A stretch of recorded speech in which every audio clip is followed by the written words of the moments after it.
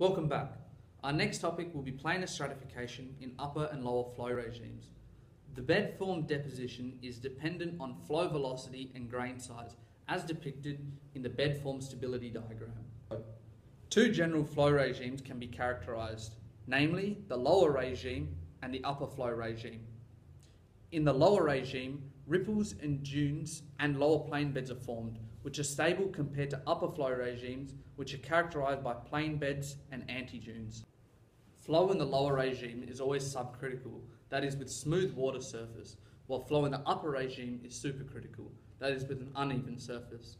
Lower flow regimes can produce plane beds, ripples, or dunes.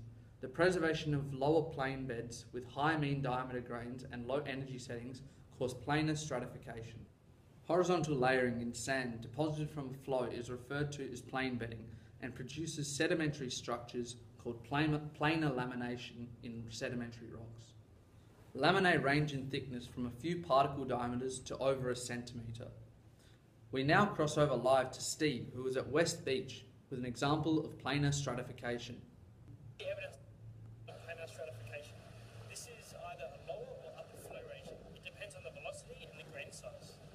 It's all formed along a horizontal bed, but at different times.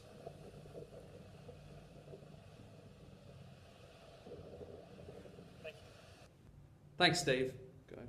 At low velocity flows of fine grains, ripples are formed, but as the grains become too large, they are unable to build up into ripple mounds. Instead, the grains roll, creep, or slide along the riverbed forming lower plane beds. At higher flow velocities, it then transitions into dunes instead of horizontal beds. Upper flow regimes produce anti-dunes and upper plane beds. The planar stratification is preserved within the rock record as evidence of upper plane beds, which is dependent on the flow velocity and grain size. Upper bed planes are formed due to fine grains via being transported via suspension. A fallout onto a planar sediment surface occurs when currents are too weak to transport the newly arriving sediments over the bed without traction. The maximum flow velocity to produce plane beds is around 0.7 meters per second, with fine grain sizes lower than 1.1 millimeter. Any velocity lower than this will produce ripples with a corresponding grain size. The transition from ripple bed forms to upper plane beds is due to the erosion of ripples into flat-lying bed forms.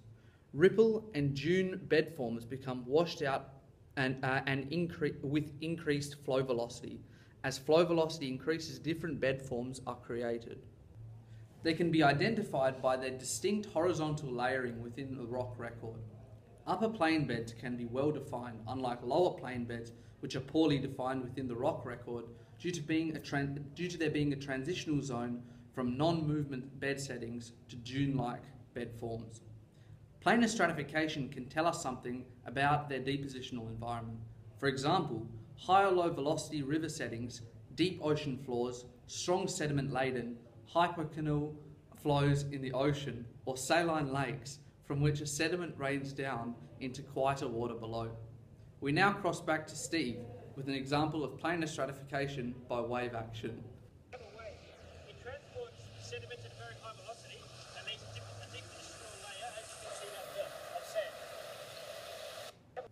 Thanks again, Steve. Planar lamination is of interest to petroleum engineers as reservoir rocks such as shales exhibit this behaviour. Thank you for listening and good night.